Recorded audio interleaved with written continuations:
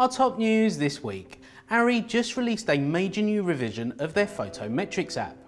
The ARRI Photometrics version 4 makes the app available for both iOS and Android devices and provides data on all ARRI light fixtures, ballasts as well as other lighting products. Version 4 of the Photometrics app has been completely redesigned for a more streamlined and cleaner look and adds DMX profiles for ARRI SkyPanels among other features. Version 4 also adds a brand new feature called presets. This gives the ability to create projects and then store lights inside a project for reference at a later point.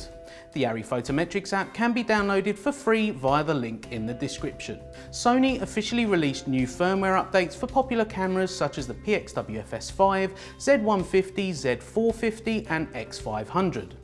In firmware version 4, the Sony FS5 gets hybrid log gamma in camera profile, super slow motion up to 120 frames per second continuous in full HD, which does require a separate paid license, and also the ability to lower the camera's native ISO from 3200 to 2000 when recording in S-Log2 or S-Log3. Panasonic have also just released some very helpful tutorial videos for their UX series 4K camcorders, including the UX90 and UX180. The tutorials cover 4K slow motion, time-lapse and super slow motion, as well as setting the camera up for a more cinematic image capture.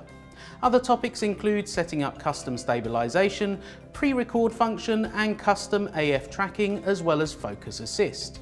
You can find links to the tutorials in the description below. That's it for this week, we'll be back next week with more news in 90 seconds.